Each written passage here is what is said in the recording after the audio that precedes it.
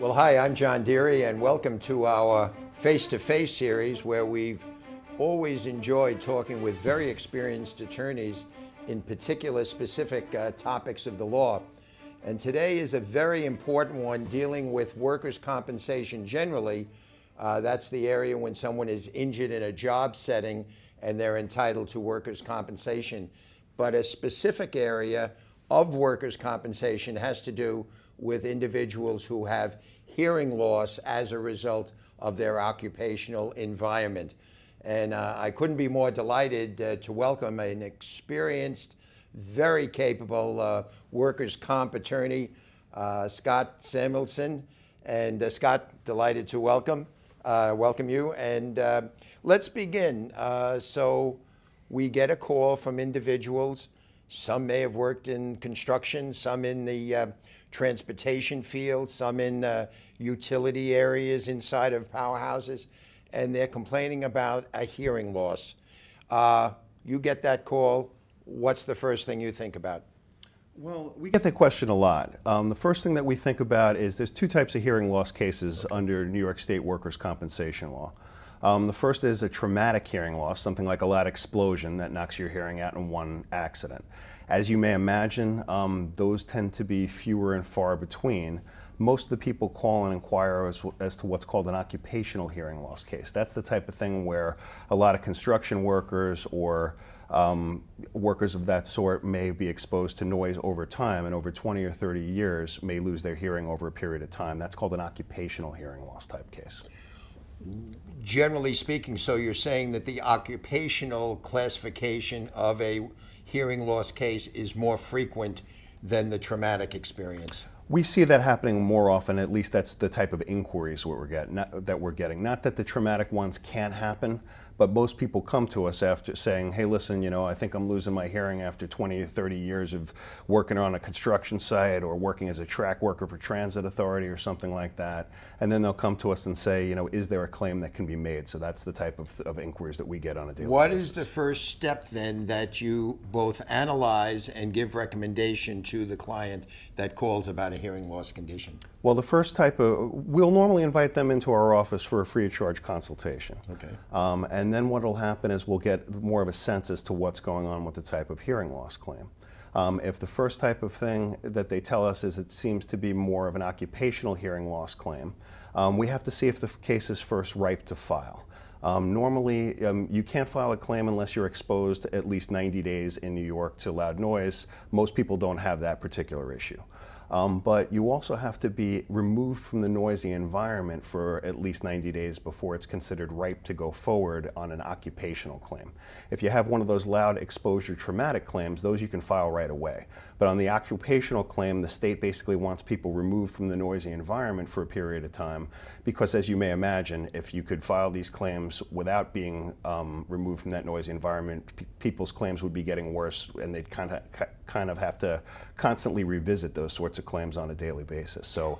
Uh, what does that basically do? Suppose someone is working and continuing to work and yet feels they have a hearing loss. Uh, how do you get that removal from the 90 day period that seems like it's a requirement if a person is continuing to work? Well, there's two sorts of ways that you can do it. Um, most people to file those sorts of claims will um, wait for a point in their career where they are removed from the okay. noisy environment. A lot of times they'll wait until just after retirement where they know that they're not going to be exposed to that noisy environment and they can accomplish removal that way. Sometimes if somebody gets promoted, for instance, they were doing some sort of construction work for 20 or 30 years, but now they have a desk job doing management type of stuff for a company at that point, then maybe they can be removed from the noisy environment for 90 days. Um, if we can't get the injured worker removed from the noisy environment, what will wind up happening is um, it won't be considered ripe to follow through on the claim, and then the indi individual injured workers are sort of in a tough spot where they might need medical care, but it's not yet ripe to go forward with that sort of claim. The last way one can get removed from a noisy environment to file an occupational claim um, is using hearing protection. If, the, uh, if they can sort of swear on a stack of Bibles that they're put, putting on solid hearing protection and that they've never taken it off for the 90 day period. As you may imagine, that creates problems on cross examination when these cases get um, controverted because um, it doesn't take long for a seasoned attorney to get the person to admit, and readily so, that they had to quickly take off the hearing um, protection to hear a conversation, and at that point, they haven't been removed from the 90 days, so it's not yet ripe to file.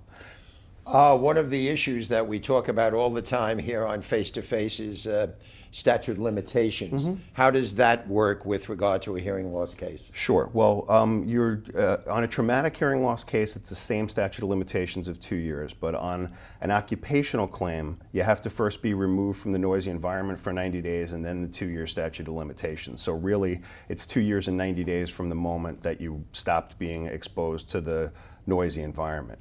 Now, if, um, if, there can come a point a, at a later point in time where people say, "Well, listen, it's been five or ten years. I think I, I, you know, am I out of the box on that sort of claim?" The answer is not necessarily so. A lot of times we can find ways around the statute of limitations. And in fact, many times people five or 10 years later, when they're first medically diagnosed with their hearing as being occupational hearing loss related, they still have 90 days to be able to file those claims, at least at a minimum. So a lot of times there can be exceptions to those rules. What would you view from a legal perspective, and of course a direct impact on the client, as the biggest obstacle in terms of making these filings? Is it what you had described before in terms of the 90 day period? Um, it's not as much a statute of limitation issue, although that's something that we do have to keep an eye on. A lot of times it's medical documentation. Um, what happens with these sorts of cases is, um, as you can imagine, most of these cases I mentioned are occupational in nature, mm -hmm. okay? And occupational claims in workers' compensation in general can, tend to be controverted more than um, an accidental claim. So for instance, Let's take a hearing loss case as an example. If there's a loud explosion, chances are everybody at the job site knows about the loud explosion and people are more cognizant of the fact that somebody may have lost their hearing on that particular day. If you have one of those occupational cases um, that takes time, um, a lot of times what winds up happening is there's a question as to medical causal relationship. Just because somebody lost their hearing doesn't necessarily mean it happened on the job, and that's how the insurance companies defend against these cases. Mm -hmm. uh, and that's normally the case that any insurance company is going to take on this case, thinking like an insurance company because they're thinking, hey, let's face it, if this gentleman or lady does have hearing loss and it's not work related, we don't have to pay as a workers' mm -hmm. compensation insurance company. So they would prefer not to. Um, fortunately, the insurance companies, although they controvert these cases in the beginning, it's not the be all and end all. Um, to go forward in, with a case like that at the Workers' Compensation Board, we will need things like a medical report from the doctors, and oftentimes that can be the biggest obstacle. You're using a word controverted, mm -hmm. and I want to make sure I understand and anyone listening understands. Sure. Okay. Controverted is basically the insurance company simply saying, I don't think you or your client are entitled to those benefits. We don't want to pay. Okay. Okay. Now you mentioned because this goes through all kinds of personal injury matters, and that is what kind of medical documentation is necessary here. And I'm thinking in particular because of the hearing loss, you have uh, medical doctors, and then you have also specialists. So, what kind of medical records are required? Yeah, um, a lot of people will come to us with a document with sort of an audiogram, normally done by an audiologist, saying, "Hey, listen, I have hearing loss," and there's a certain range that we'll look to see if it's compensable for benefits that somebody will be entitled to, and they they say, "Hey, listen, this is proof of my hearing loss," and it very well may be so. Um, but I want to go forward with the claim based on you know what the audiologist says. Unfortunately, in our workers' compensation courts, it's not enough to go forward. We need a medical report, um, basically a medical doctor that okay. says um, that your that your medical report is um, causally related to your injury because it's the, the judges rely on the um, expert testimony of the medical witnesses. So okay. the audiologist won't do it alone, but the medical doctor's report is sufficient. And then you need something called prima facie medical evidence.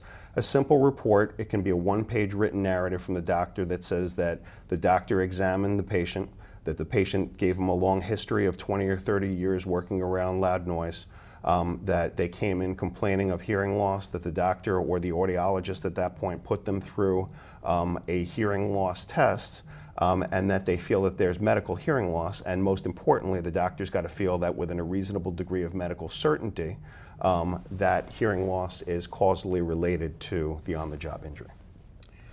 What happens in a situation, and I'm thinking in particular, for example, if someone worked in the construction field and worked for a number of different uh, employers, uh, how do you deal with that situation as to which employer may be liable? That's a good question, actually. What winds up happening is certainly if you have one employer, you file against the one employer and it's a non issue. The workers' compensation law says that if in a situation like that where you maybe you're a union carpenter and you've worked for a variety of different people over your career, you file against the job with what's called the last injury ex exposure. In English, the last place that you were exposed to noise. Okay. And basically it's up to that insurance company to, they may ask the injured worker to sign medical releases and things like that to get proof as to where they worked. It's basically up to them to, in essence, implead or, or ask the other insurance companies that, to get relief from them if they ultimately become liable. They can get recovery from the other insurance companies depending on the nature and extent uh, and the length of, of uh, noisy exposure at some of those other jobs. What happens in the situation, again, I touched on it earlier, but I want to be clear, someone works, has a hearing uh, loss, feels they do, and yet continues to work during that period of time. Maybe he's got five years or so to go before he retires, whatever the case may be. I think it's important to underscore that because I've heard a number of uh, cases where that situation seemed to be key. So, person continues to work even though he feels or she feels that their hearing loss is uh, is real. Yeah, a, a, person can and should continue to work if at, at, all possible with regard to that. Unfortunately, that can be a difficult spot to be in in an occupational hearing loss type of case because if we can't get an injured worker to the point where they're removed from the noisy environment, um, it, really it's not ripe to go forward on the workers' compensation, and, and, and an injured worker may be faced with other means to get relief, you know, private insurance or things like that at, at, to go forward. It used to be under the workers' compensation law that you, were, you would still be able to file the claim, follow up on things like, like hearing aids and things like that, and follow up on other benefits that an injured worker may be entitled to at a later point once they were removed. Unfortunately, the case law recently changed that and basically said in order to go forward on these cases now, you got to basically be removed in an occupational setting. Now, you mentioned a hearing aid is something that we're all familiar with. Sure. Uh, how does a hearing aid fit into someone with hearing loss, uh, and who pays for it, for example? Because I know they're not uh, they're not cheap. In, in, a, in, in a case that's ultimately established, I like to use that term instead of accepted because, as I mentioned to you before, we use the term controverted that you asked me to define. It's not uncommon for the insurance companies to fight these claims in the beginning. Once you convince a law judge that uh, the occupational hearing loss is compensable and that an insurance company has to pay benefits, um, the, the injured worker is required to go to, to doctors that accept workers' compensation as a means of payment, and it becomes the workers' compensation carrier's responsibility to pay for not only the hearing aids, but if and when they wear out, replacements of those hearing aids as well. At the end of the day, what, how do you analyze, since you've handled so many of these cases, how do you analyze the general perspective of the Workers' Compensation Board and the judges and hearing offices that deal with uh, hearing loss cases as compared to other kind of uh, workers related injuries? Well, the, they take them very seriously. The judges are, you know, uh, uh um, present a um, um, a, forum where the insurance companies don't get their say at the end of the day. They're supposed to be an impartial forum where they hear these sorts of cases. Um, usually, the whole procedure with something like that is um, the an injured. The first hearing itself. There's usually several hearings that go forward on these sorts of cases. Um, in order for somebody like me to bring a case like this, we really can't go forward until really the statute of limitations is satisfied, somebody's been removed from the noisy environment long enough for an occupational claim, and there's a medical report in order to be able to go forward with that sort of claim, indicating that uh, the hearing loss is both compensable within the compensable range and also medically causally related to their job. Once all that's in order, we'll file a claim with the Workers' Compensation Board. As I mentioned to you, it's not uncommon and happens 90% of the time that the insurance company is going to controvert that case at the first hearing. The judge will then ask us, counselor, where's your medical evidence indicating that the condition is work related? And at this point, we'll be like, right here, judge, and we'll hand the ju judge a copy of the medical report because mm -hmm. we know that's necessary to go forward and we don't want to be bringing any sort of frivolous claims mm -hmm. before the Workers' Compensation Board. Um, the judge will normally examine that report, determine that everything's in order, and if the judge does find that to be in order, the judge will adjourn the case for a trial where the injured worker will give what's called lay testimony. The insurance company will have an opportunity to bring in um, some, a coworker or a supervisor.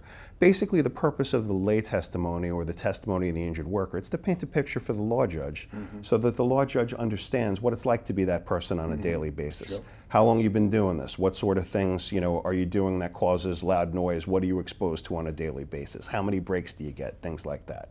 And the insurance companies um, will have an opportunity to pr produce a witness on that as well.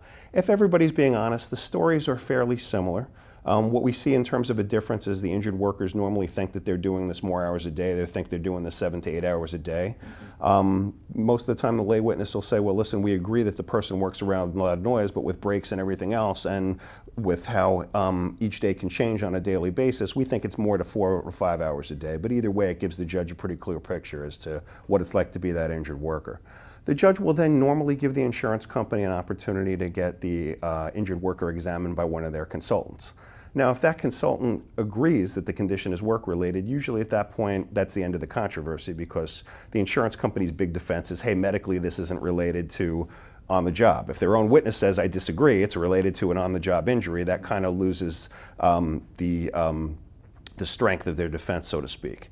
Um, but if their doctor says more often than not, 70 to 80% of the time, anything from this guy doesn't have hearing loss to it's not related to I'm not sure that it's related, then we have a, a medical deposition where the doctors are deposed, um, uh, sort of on a conference call in our forum, and a transcriptionist types up uh, mm-hmm. the testimony of the doctors. Um, and each doctor will be cross-examined and explain why, uh, why the I guess, the causal related basis of their opinion. Mm-hmm. And then the judge will make a determination on all of it all together. Mm-hmm. So it's, uh, it's quite a process to go through, but mm-hmm. we tend to be very successful with those claims, and injured workers shouldn't be dissuaded from following up on those claims if they feel they were hurt on the job, because we personally feel that for every two or three of these cases that are really followed up on, there's probably about 10 more where people either don't know they have a claim or aren't interested in following it all the way through, given the defenses the insurance companies put up. One of the questions that I know clients are always asking us as attorneys about how long is this going to take?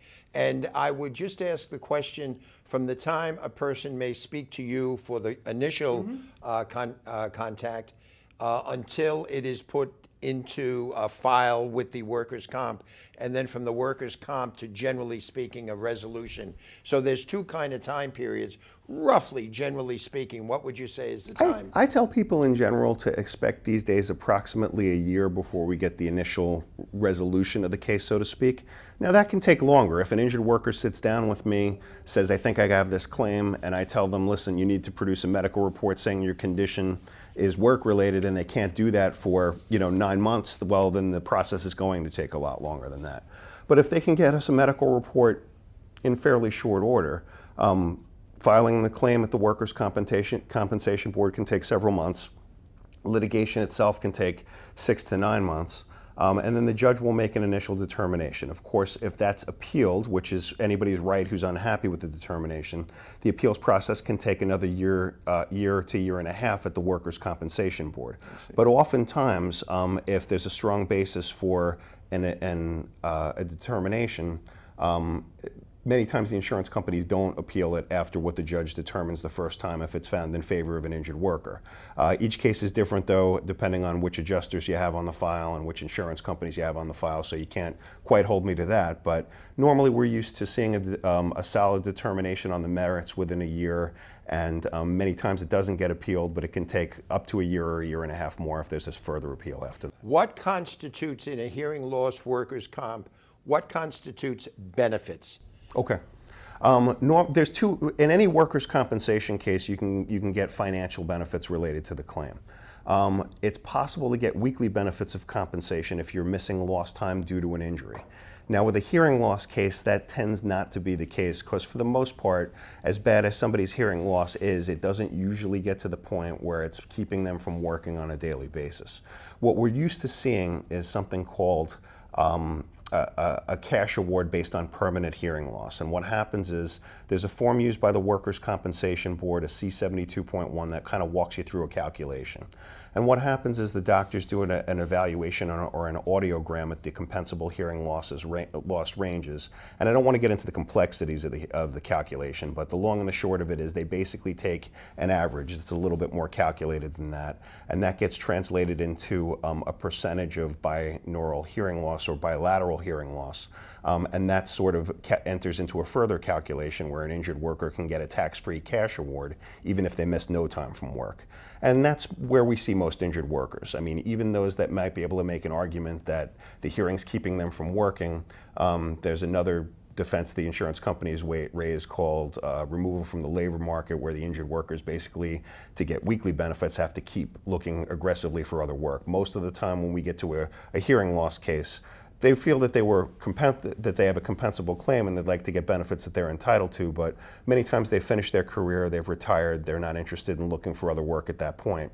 So for the most part, we're seeing um, cash awards based on uh, hearing loss cases. And finally, uh, I guess a question that always comes up as it relates to us as attorneys, is there any out-of-pocket expenses on behalf of the client who has had the hearing loss?